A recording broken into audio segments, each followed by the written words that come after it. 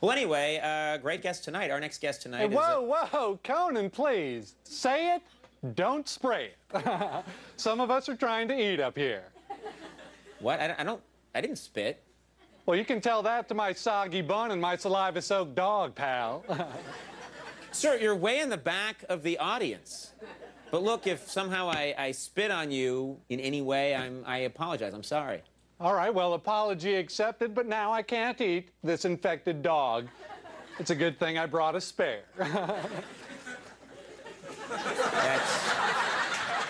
It's fine, sir. If, but if you can just eat it quietly, just you know, just eat it quietly and enjoy yourself. All right. okay, I will if you can turn off that spit shower. Oh, wait a minute. Why are you picking on me? What about everybody else's germs?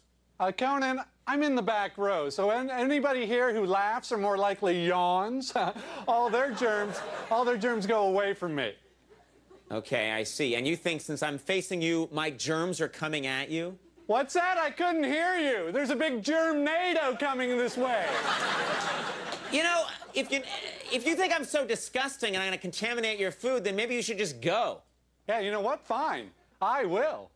Uh-oh, just dropped my dog. Well, um, okay, I guess you can't eat that one either now that it's hit the floor. Actually, we're in luck. It didn't hit the floor. There it is.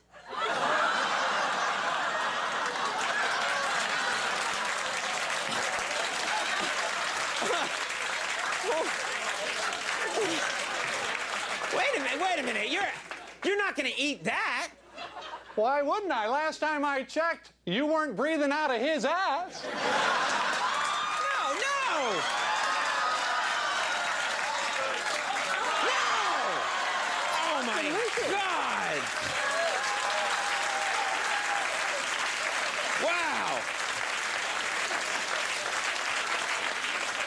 All right, well, uh, we'll take a break. If he's still here, uh, we'll talk to Philip Seymour Hoffman. I don't know if he's.